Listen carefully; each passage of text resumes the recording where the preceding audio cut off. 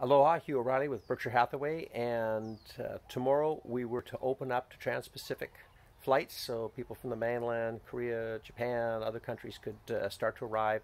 But there was a big pushback from our local mayors and community members that we were too early, premature, so it's uh, it's going to be stalled and pushed up until we can get confirmation that uh, the requirements that we've set in place are attainable, and that was that you had to be able to provide a negative COVID test within 72 hours of boarding the flight. So we think that that's probably a good um, standard to which to try and see if we can't get to.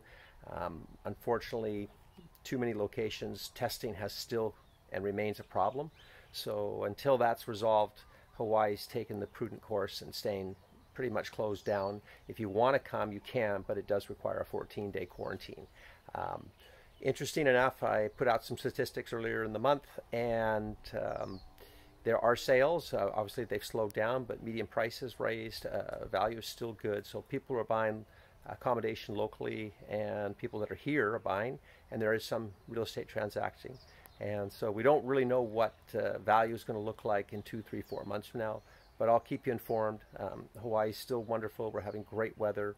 Um, so um, we'll keep you updated and hope that uh, we can allow our guests back into Hawaii soon and so you can enjoy everything that Maui offers. All right, aloha.